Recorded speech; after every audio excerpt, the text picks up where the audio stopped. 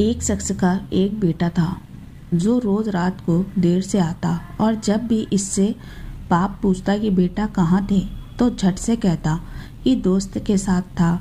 एक दिन बेटा जब बहुत देर से आया तो बाप ने कहा, बेटा, आज हम आपके दोस्त से मिलना चाहते हैं। बेटे ने फ़ौरन कहा, अब्बा जी, इस वक्त अभी रात के दो बजे हैं, कल चलते हैं। नहीं, अभी इसी वक्त चलते हैं। आपके दोस्त का तो पता चले। बाप ने अभी पर ज़ोर देते हुए कहा, जब इसके घर पहुँचे और दरवाज़ा खटखटाया तो काफ़ी देर तक कोई जवाब न आया। बिल आखिर बालकनी से सर निकालकर एक बुज़ुर्ग ने, जो इसके दोस्त का बाप था, आने की वजह दरियाफ्त की तो लड़के ने कहा कि, अपने दोस्त से मिलने आया हूँ।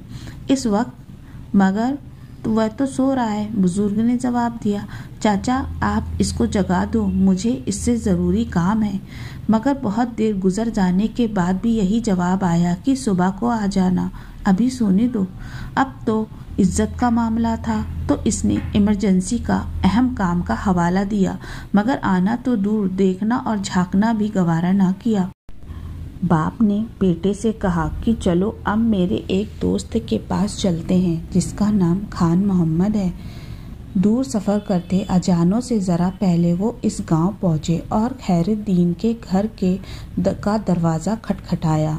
मगर जवाब अंदर आखिर खैर इसने ज़ोर से अपना नाम बताया कि मैं हूँ कमरदीन। मगर फिर भी दरवाज़ा सकत और कोई हरकत नहीं हुई।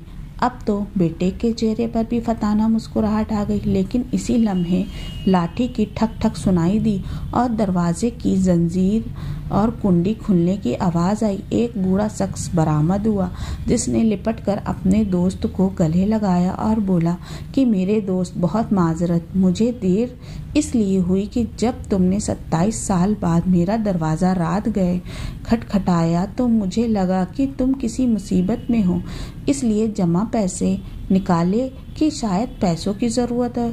फिर बेटे को उठाया कि शायद बंदे की ज़रूरत है। फिर सोचा शायद फैसले के लिए पगड़ी की ज़रूरत हो तो इसे भी साथ लाया हूँ। अब सब कुछ सामने है। पहले बताओ कि किस चीज़ की ज़रूरत है। ये सुनकर के बेटे की आँखों से आँसू आ गए। अब्बा जान कितना समझाते थे कि दोस्त वो नहीं होता जो रात जगहों में साथ हो, बल्कि वो होता है जो एक आवाज़ पर हक दोस्ती निभाने आ जाए। आज भी कई नौजवान ऐसे दोस्तों पर अपने वालदेन को नाराज़ कर देते हैं।